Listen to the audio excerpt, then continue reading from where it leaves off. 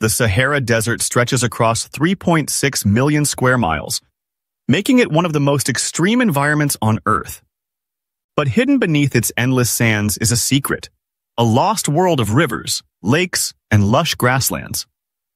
Before we explore this forgotten paradise, make sure to subscribe and hit the notification bell so you never miss our weekly discoveries about Earth's hidden past. Thousands of years ago, the Sahara was not a barren wasteland, but a thriving savanna. Ancient cave paintings and rock carvings reveal people swimming, herding cattle, and hunting animals like giraffes and elephants. Scientists have also uncovered evidence of a massive ancient lake known as Megachad, once the largest freshwater lake on the planet. Using satellite technology, researchers have mapped out entire river networks buried beneath the sand. The Sahara is more than a desert. It's a time capsule of a vanished green world.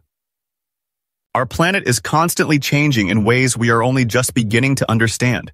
We are here to reveal those changes. To continue this journey, like this video, subscribe, and tell us in the comments. What other lost world should we investigate next?